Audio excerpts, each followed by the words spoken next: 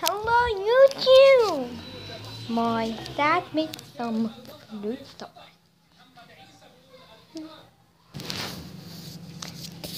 Magnificent fruit tart. So yummy. Right, Let me sit on the chair and show you. Yeah, this is a fruit tart. It's so delicious. I'm gonna eat it after. Yeah, bye guys now.